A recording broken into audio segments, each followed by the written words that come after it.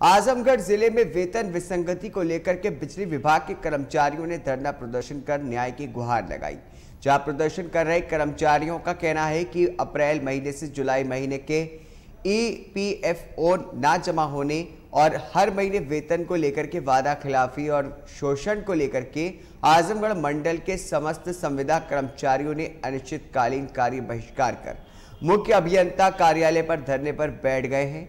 वही कर्मचारियों ने चेतावनी दी है कि अगर सक्षम अधिकारी उनकी समस्याओं पर गंभीरता से विचार नहीं करेंगे, तब तक वे कार्य बहिष्कार धरने पर बने रहेंगे।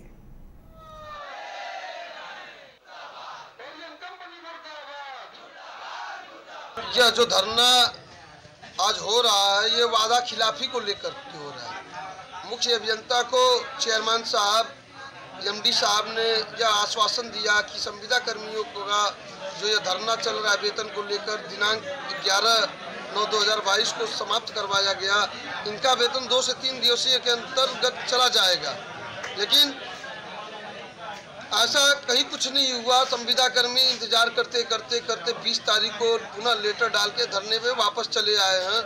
वेतन विसंगत को लेकर, ईपीएफ मुद्दे को लेकर, संविदा कर्मियों के शोषण को लेकर, ये सारी बातें आज संविदा कर्मी इस मंच पे लेके आए हुए हैं कि आपका, आपके वादा का क्या हुआ?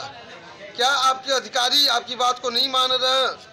कस्टम डिवीज़न के अधिशासी अभियंता के द्वारा संविदा कर्मियों का ट्रांसफ़र झूठी अफवाह फैलाकर उनको यहाँ से बाहर बाहर करने की बात की जा रही है, जो ये बहुत ही गलत है।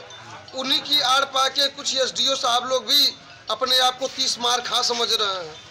संविदा कर्मियों का शोषण करने से बाज नहीं आ रहे हैं। और भी अन्य जय साहब लोग हैं जो जैसा चीफ साहब से कहा चीफ साहब के द्वारा कहा गया किसी भी संविदा कर्मी का वेतन नहीं कटेगा। अब वो लोग झूठी हुड़कड़ी दे रहे हैं कि आपका वेतन हम लोग काटेंगे जो कि ये बहुत गलत है। इन्हीं सब मांगों को लेकर आज हम लोग मुख्य अभियंता के कार्यालय में पुनः उपस्थित हुए हैं।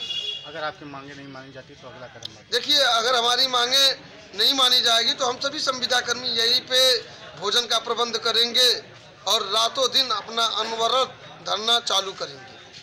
जिसकी जिससे उत्पन्न हुई औद्योगिक अशांति के लिए कार्यदायी संस्था व विभाग जिम्मेदार होगा। हमारी मांग तो सरकार से है। मेरा पत्रक ऊर्जा मंत्री मुख्यमंत्री चेयरमैन सभी विभागों को मैंने अपना पत्रक बना के डाल दिया है। अब उन उस पर उन लोगों का विचार होना बाकी है। अभी जल्द ही एक आदेश हमारे क्या बोलते हैं, कंप्यूटर ऑपरेटर और सफ़ाई कर्मचारी के लिए सोलह हज़ार व बाईस हज़ार का आदेश जारी हुआ है। अगर इस प्रकार का आदेश इन लोगों के लिए जारी हो सकता है तो हम लोगों के लिए भी जारी होना बहुत ज़रूरी है, क्योंकि हम सबसे ज़्यादा रिस्की कार्य करते हैं।